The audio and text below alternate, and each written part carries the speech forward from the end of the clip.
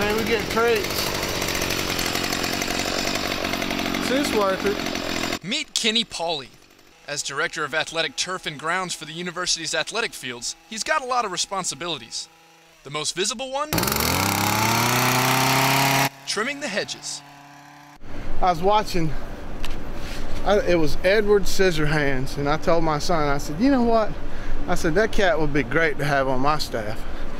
It isn't all he does. Mr. Pauley and his staff are in charge of maintenance for all the university's athletic fields, on and off campus. In his office alone, he keeps track of field sensors that monitor things like moisture levels, salinity, and irrigation schedules.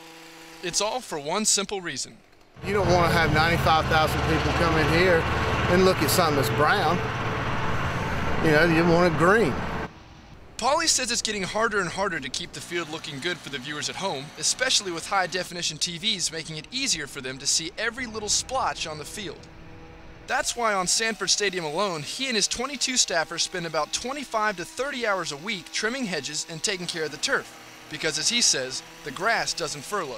He has a pretty simple reasoning behind all the long hours.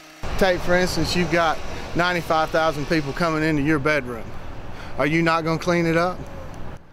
Pauley especially takes pride in his work on the hedges, and along with a handful of other staffers, he trims them himself.